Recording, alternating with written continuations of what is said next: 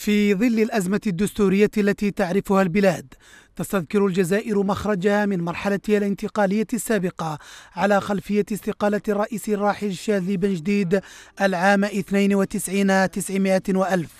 وما أعقبه من تشكيل للمجلس الأعلى للدولة كهيئة مدنية عسكرية قادت الجزائر نحو عامين وانتهت مهامها بتسليم السلطة للرئيس الأسبق اليمين زروال العام 94 900 وألف.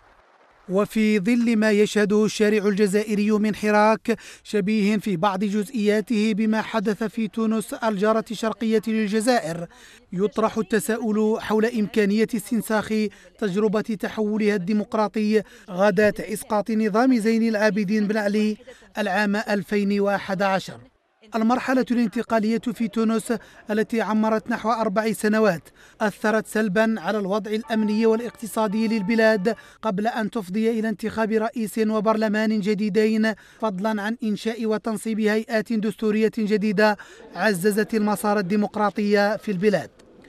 على أن الوضع السياسي الذي تعرفه الجزائر ليس استثناء في القارة السمراء التي يحفل سجلها بمراحل انتقالية مرت بها عدة دول خلال العشرية الأخيرة.